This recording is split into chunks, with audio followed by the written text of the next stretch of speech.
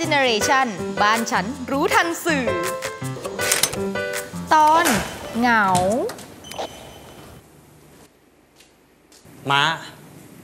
ทำไมม้าทำแบบเนี้ย ตีมาขอโทษเขาว่าเหงาอะ แล้วเรื่องเอาแต่ทำงานอะ ไม่สนใจม้าเลยอะ ม้า แต่การที่ม้าเอารูปคนอื่นมาหลอกลวงตีแบบเนี้ย มันผิดกฎหมายนะม้า แล้วถ้าเกิดว่าตำรวจอะขอโทษนะคะ ทางเราสืบทราบมาว่าที่นี่มีการใช้ Facebook แอบอ้างเป็นคนอื่น ซึ่งผิดตามพรบคอม ต้องขอเชิญตัวไปให้ปากคำที่โรงพักด้วยค่ะตีช่วยมาด้วย ช่วยช่วยช่วยช่วยช่วยช่วยหน่อยช่วยหน่อยตีช่วยม้าไม่ได้หรอก ม้าทำความผิดอะอืมลูกไม่ทำแล้วนะนะ ช่วยม้าหน่อยช่วยม้าหน่อย อะอะอะ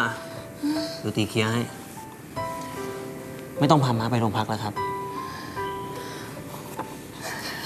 ไม่พามาไปโรงพักก็ได้ค่ะ เฮ้ยเฮ้ย แต่ขอเชิญคุณติไปโรงพักด้วยค่ะ ลูกจะมาจับลูกทำไม ลูกทำอะไรผิดก็ผิดที่พี่ตีเนี่ยทำร้ายความรู้สึกม้า ไม่สนใจม้า ปล่อยให้ม้าเหงา แล้วยังสำนึกไม่ได้ไงคะ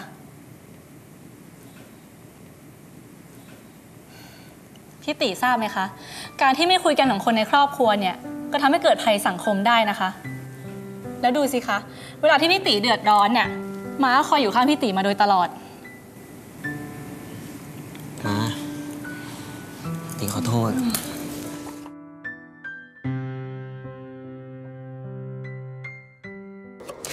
ยังไงก็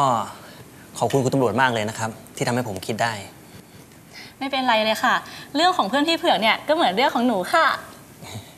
แล้วก็อย่าลืมหาใครมาดูแลมาด้วยนะคะ ไปแล้วบ๊ายบาย ครับ